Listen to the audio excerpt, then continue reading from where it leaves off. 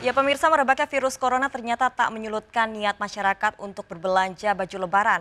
Di Pasar Tanah Abang, Jakarta Pusat, pengunjung membadati beberapa blok kios pakaian.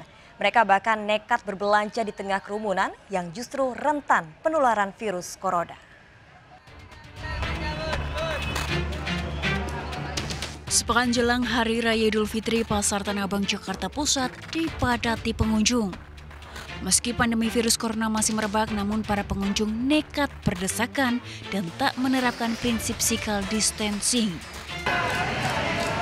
Para pedagang yang dihimbau untuk tak berjualan pun nekat membuka lapak mereka lantaran terdesak kebutuhan ekonomi. Bahkan beberapa pedagang menggelar dagangan hingga di trotoar jalan.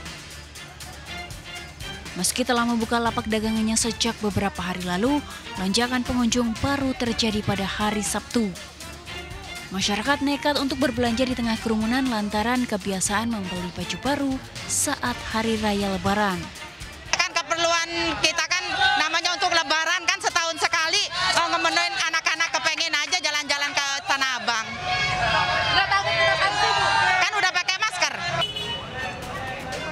Meski merasa khawatir akan terpapar virus corona, sejumlah pengunjung mengaku akan menerapkan kebiasaan mencuci tangan untuk meminimalisir terpaparnya virus corona.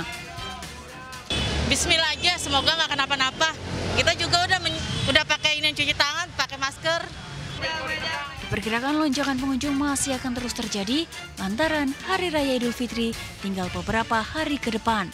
Dari Jakarta, Devi Prihatiningsi dan Ahmad Khairuddin melaporkan.